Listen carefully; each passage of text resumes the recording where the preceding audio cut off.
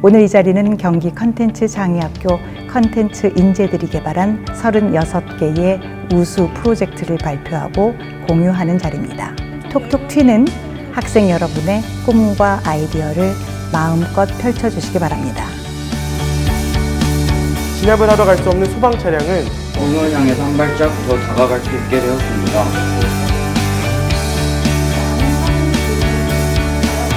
다른 학교의 작품을 직접 볼 수 없다는 게 아쉽지만 저희의 작품을 좀 더 노력해서 더 구체적으로 만들 수 있는 계기가 됐던 것 같습니다.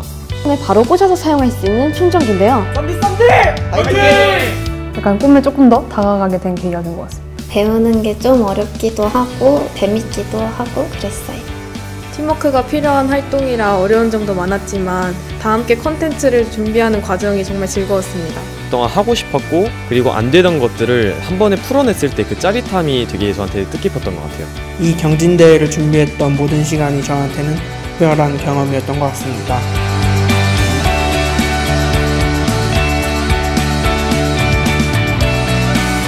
창의학교 활동을 하면서 점점 발전해가는 제 모습을 보고 자신감과 힘을 얻었습니다. 새로운 것에 도전할 때에 대한 두려움을 떨치는 용기를 얻은 것 같습니다.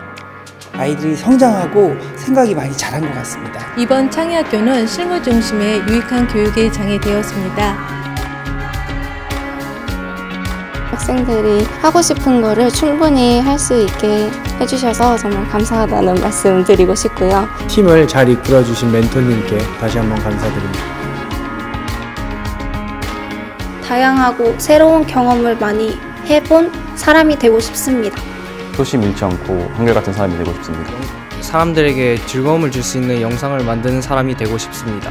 그 저희의 제품처럼 누군가 필요했을 때 가장 먼저 도움을 줄 수 있는 그런 사람이 되고 싶습니다. 창의성을 바탕으로 이 세상에 없던 것을 만들어내어 사회에 깊은 공유를 하고 싶습니다.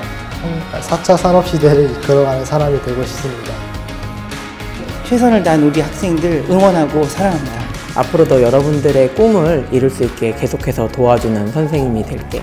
내년에도 우리 같이 잘할 수 있으면 좋겠다. 고맙다. 고마워, 사랑해. 참 고맙고 사랑합니다. 꼭 크게 돼서 보답할게요. 선생님 너무 감사드리고 사랑합니다. 끝까지 함께 해줘서 고마워 얘들아. 얘들아 수고했어. 고생했어 얘들아. 또 좋은 작품 한번 만들어 보자.